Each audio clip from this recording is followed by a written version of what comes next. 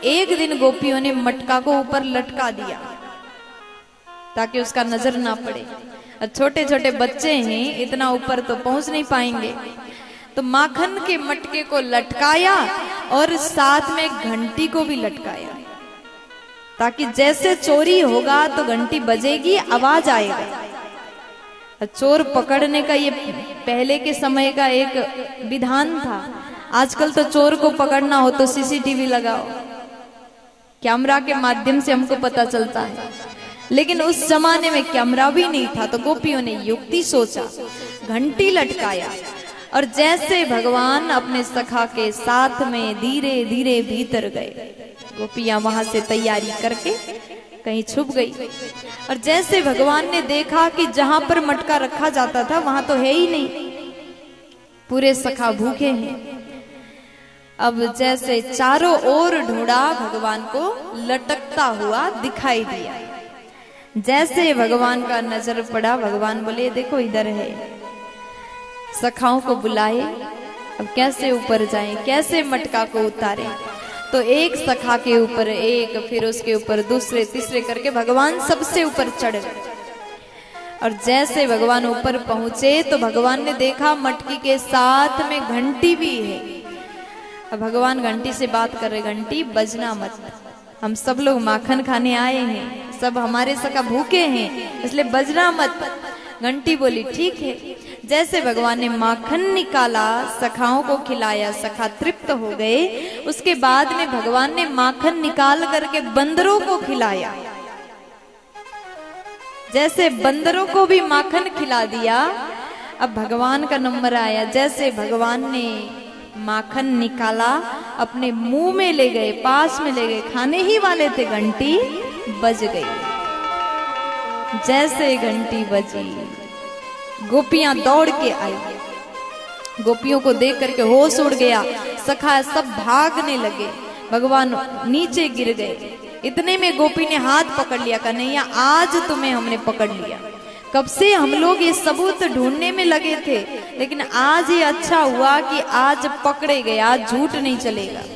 आज तक तो हमेशा बहाना मार के भागे थे, आज क्या करोगे? भगवान बोले, इतना अच्छा भी नहीं नहीं है तुम्हारे घर के माखन, जिसको खाने के लिए मैं चोरी करने को आऊँ। मेरे घर में क्या कमी है क्या? रोज रोज यही डायलॉग मारते थे। आज ये डायलॉग भी काम नहीं कर रहा मेरे घर में कमी है क्या? नौ लाख गाय हैं। खूब माखन है।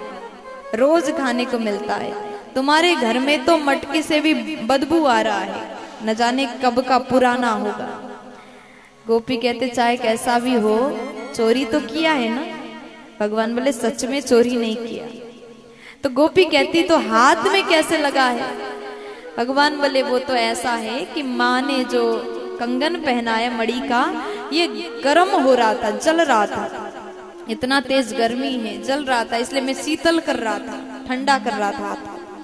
गोपी ने हाथ पकड़ी, खींच करके ले जा रहे। आज तो यशोदा के सामने ले जा करके शिकायत करूँगी। आज नहीं बचोगे। अब गोपी क्रोध में भगवान को खींच करके जा रही है। अब भगवान सोच रहे, अब कैसे भागे कैसे भागे? जैसे जाते जाते रास्ते में भगवान ने सोचा कि कुछ तो करना पड़ेगा, नहीं तो आज माँ को पता चलेगा।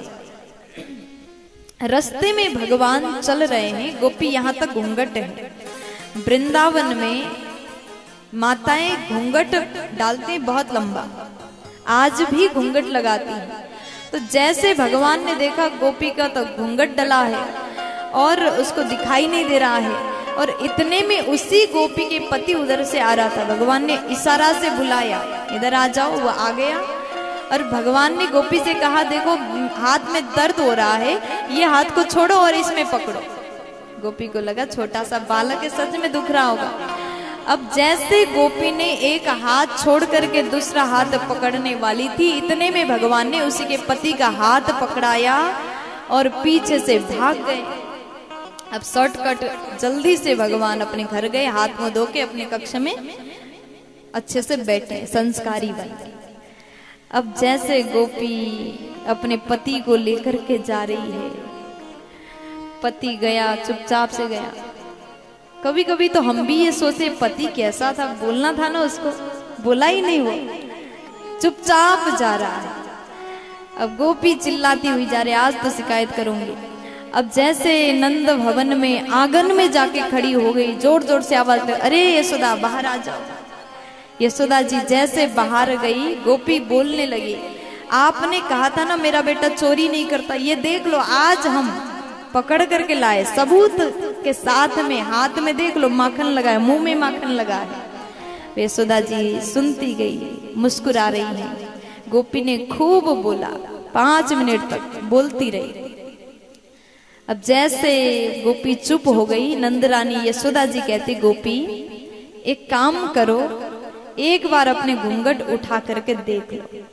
जैसे गोपी ने अपने घूंघट को उठाया, देखा तो खुद का पति खड़ा था। अब तो गोपी को बड़ी शर्म लगी, घूंघट डाल के जल्दी से वहाँ से भाग जाती। ऐसी प्यारी लीला भगवान ने किया। और इतने में भीतर से भगवान आते हैं कि माँ, कौन आया है? कौन बुला रहा है? भगवान चोरी करते हैं और इस चोरी से गोपियाँ भी प्रसन्न हो जाती हैं। अगर एक दिन भी चोरी करने नहीं जाएँ तो गोपियों गोपियों को बड़ा दुख होता था। आज भगवान भोग लगाने नहीं आए।